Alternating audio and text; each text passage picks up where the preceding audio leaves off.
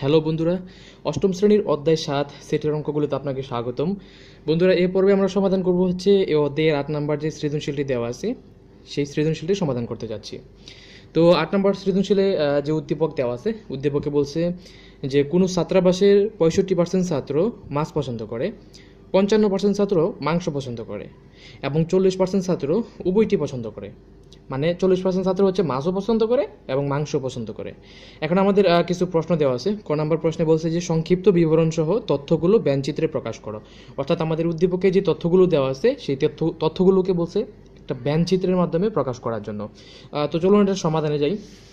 দেখেন আমরা সমাধানে গিয়ে লিখব যে মনে করি ছাত্রাবাসের ছাত্রের সেট সার্বিক সেট অর্থাৎ এখানে যে টোটাল ছাত্রগুলো আছে, সেই টোটাল ছাত্রের হচ্ছে কি কি? সার্বিক সেট তো সার্বিক সেটকে আমরা ধরে নিই হচ্ছে কি এস হুম, সার্বিক সেট এস দ্বারা প্রকাশ করা হয়।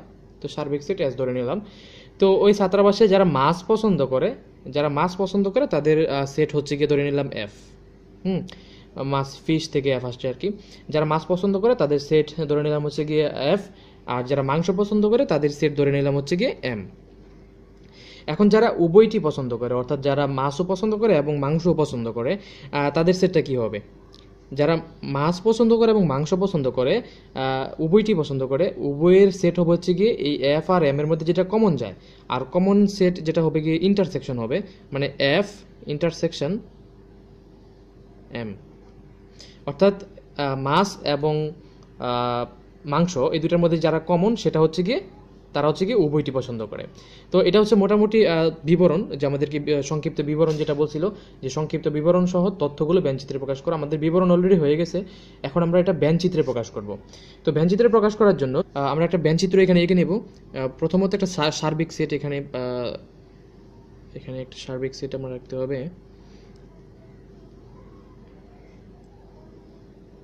আচ্ছা ধরি এটা এটা একটা সার্বিক সেট। এটার নাম হচ্ছে কি এস যেহেতু এখানে দুইটা পছন্দের তালিকা দিছে, একটা হচ্ছে গিয়ে মাছ, আর একটা হচ্ছে গিয়ে মাংস। তো ধরে নেই হচ্ছে গিয়ে মাছের সেট হচ্ছে কি আমাদের এটা। মাছের সেট এটা হচ্ছে গিয়ে যারা মাছ পছন্দ করে, এটা হচ্ছে গিয়ে মাছের সেট ধরে নিলাম এটা হচ্ছে গিয়ে এফ আবার ধরে নিলাম হচ্ছে গিয়ে মাংস পছন্দ করে যারা, এদের সেটটা হচ্ছে এরকম, ধরেন এটা হবে যারা মাছ পছন্দ করে। খুব ভালো হয়নি আঁকা। যাই হোক তো এই সেটটা হচ্ছে কি যারা মাছ পছন্দ করে। এটা দিলাম আমি এম আর এখন এই যে অংশটুকু, এই অংশটুকুর মধ্যে যেটা আছে, এই অংশটুকুর মধ্যে কি আছে? এটা হচ্ছে কি মাছ এবং মাংস। এই দুইটাই কিন্তু এই অংশটুকুর মধ্যে আছে। তো এটা হবে কি? এই এফ ইন্টারসেকশন এম তাহলে এটা হচ্ছে কি আমাদের? এফ ইন্টারসেকশন এম তো এখন কথা হচ্ছে যে আমাদের এটা এই ব্যঞ্চিত্রের মাধ্যমে তথ্যগুলো উত্থাপন করতে হবে। তো এই যে অংশটুকু, এই অংশটুকুর মধ্যে হচ্ছে কি যারা উভয়টি পছন্দ করে, তাদের তালিকা এখানে আছে। তো উভয়টি পছন্দ করে হচ্ছে কি আমাদের প্রশ্নে বলে দিছিল যে চল্লিশ পার্সেন্ট ছাত্র উভয়টি পছন্দ করে। তো যেহেতু ব্যঞ্চিত্রের মধ্যে উভয় উভয় হচ্ছে কি এই অংশটুকু, তাহলে এটা হচ্ছে গিয়ে চল্লিশ পার্সেন্ট এটা হচ্ছে গিয়ে চল্লিশ পার্সেন্ট আর মাস পছন্দ করে হচ্ছে গিয়ে কত? পঁয়ষট্টি পার্সেন্ট যেটা প্রশ্নে বলে দেওয়া ছিল। তো পঁয়ষট্টি পার্সেন্ট থেকে এইখানে অলরেডি হয়ে গেছে, আমাদের চল্লিশ পার্সেন্ট আছে মাসের অংশের মধ্যে। আর বাকি আছে কত? পঁচিশ পার্সেন্ট তার মানে মাসের মধ্যে হয়েছে গিয়ে পঁয়ষট্টি পার্সেন্ট আমাদের হয়ে গেছে। যেটা প্রশ্নের মধ্যে বলছিল যে পঁয়ষট্টি পার্সেন্ট ছাত্র মাছ পছন্দ করে। এখন পঞ্চান্ন পার্সেন্ট ছাত্র মাংস পছন্দ করে। তো মাংসের অংশটুকুতে আমাদের অলরেডি হয়ে গেছে কত পার্সেন্ট চল্লিশ পার্সেন্ট আমরা উত্তাপ লিখে ফেলেছি। আর বাকি আছে হচ্ছে গিয়ে পনেরো পার্সেন্ট এই বাকি অংশটুকু পনেরো পার্সেন্ট হচ্ছে গিয়ে মাংস পছন্দ করে। আর এখানে এফ, বাকি চল্লিশ পার্সেন্ট উভয়টি পছন্দ করার পরে বাকি পঁচিশ পার্সেন্ট শুধু মাছ পছন্দ করে। এই ছিল মোটামুটি ক নাম্বারের অ্যান্সার ক নাম্বারে আমাদের যেটা বলছিল যে সংক্ষিপ্ত বিবরণ সহ তথ্যগুলো ব্যঞ্চিত্রে প্রকাশ করো। আচ্ছা আমাদের খ নাম্বারে বলছে যে উভয় খাদ্য পছন্দ করে না, তাদের সংখ্যা নির্ণয় করো। উভয় খাদ্য, অর্থাৎ মাছও পছন্দ করে না, মাংসও পছন্দ করে না। এই রকম ছাত্রের সংখ্যা বলছে আমাদেরকে নির্ণয় করার জন্য। তো এটার সমাধানের জন্য আমরা খ নাম্বারে এসে লিখব যে উভয়, প্রথমত লিখব যে উভয় প্রকার খাদ্য পছন্দ করে কতজন। তো আমরা তো জানি যে উভয় প্রকার খাদ্য পছন্দ করে হচ্ছে গিয়ে চল্লিশ পার্সেন্ট ছাত্রছাত্রী। তাহলে আমরা এখানে লিখব যে উভয় প্রকার খাদ্য পছন্দ করে হচ্ছে গিয়ে চল্লিশ পার্সেন্ট তো এখন আমরা বের করব শুধু মাছ পছন্দ করে কতজন? শুধু মাছ পছন্দ করে কতজন এটা বের করার জন্য যেটা করতে হবে, মাছ পছন্দ করে কতজন? মাছ পছন্দ করে হচ্ছে গিয়ে পঁয়ষট্টি পার্সেন্ট আর যেহেতু উভয়টি পছন্দ করে, অর্থাৎ মাছ পছন্দ করে এবং মাংস পছন্দ করে। এরকম ছাত্র হচ্ছে কি? চল্লিশ পার্সেন্ট তাহলে এই পঁয়ষট্টি থেকে যদি এই উভয়টি পছন্দ করে, যদি আমরা বাদ দিয়ে দিই, তাহলে যেটা পাবো সেটা হচ্ছে গিয়ে শুধু মাছ পছন্দ করে। তাহলে পঁয়ষট্টি পার্সেন্ট থেকে আমরা চল্লিশ পার্সেন্ট বাদ দিয়ে দিলে তাকে হচ্ছে গিয়ে পনেরো পার্সেন্ট সরি পঁচিশ পার্সেন্ট পঁচিশ পার্সেন্ট থাকে। এই পঁচিশ পার্সেন্ট হচ্ছে গিয়ে শুধু মাছ পছন্দ করে। এখন শুধু মাংস পছন্দ করে কতজন? এটা বের করার জন্য। দেখেন, মাংস পছন্দ করে হচ্ছে গিয়ে আমাদের বলে দিয়েছিল প্রশ্নের মধ্যে যে পঞ্চান্ন পার্সেন্ট মাছ পছন্দ করে।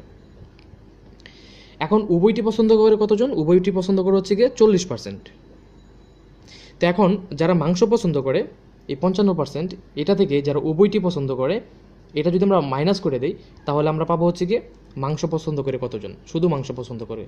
তাহলে পঞ্চান্ন থেকে চল্লিশ পার্সেন্ট বাদ দিলে থাকে হচ্ছে গিয়ে পনেরো পার্সেন্ট এই পনেরো পার্সেন্ট হচ্ছে গিয়ে শুধু মাংস পছন্দ করে। আর পঁচিশ পার্সেন্ট হচ্ছে গিয়ে শুধু মাছ পছন্দ করে। এখন উভয় প্রকার খাদ্য পছন্দ করে না কতজন? এটা আমাদের প্রশ্ন চাইছিল। তো উভয় প্রকার খাদ্য পছন্দ করে না, এটা বের করার জন্য আমরা একশো পার্সেন্ট থেকে বিয়োগ করব হচ্ছে গিয়ে এখানের এই উভয় প্রকার খাদ্য পছন্দ করে কতজন? শুধু মাছ পছন্দ করে কতজন? শুধু মাংস পছন্দ করে কতজন? এদের যোগফল থেকে বিয়োগ করব হচ্ছে গিয়ে মানে একশো থেকে বিয়োগ করব হচ্ছে কি এদের যোগফল। তাহলে আমরা বিয়োগ করব হচ্ছে এই চল্লিশ, পঁচিশ আর পনেরো এর যোগফল। তাহলে চল্লিশ পার্সেন্ট যোগ টোয়েন্টি ফাইভ পার্সেন্ট যোগ ফিফটিন পার্সেন্ট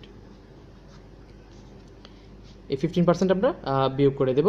তাহলে এখানে আছে হচ্ছে গিয়ে আমাদের একশো পার্সেন্ট আর চল্লিশ আর পঁচিশ হয় গিয়ে পঁয়ষট্টি। পঁয়ষট্টি আর পনেরো হচ্ছে গিয়ে আশি। এখানে হয় আশি পার্সেন্ট। এখন একশো পার্সেন্ট থেকে আশি পার্সেন্ট মাইনাস করলে থাকে হচ্ছে গিয়ে বিশ পার্সেন্ট।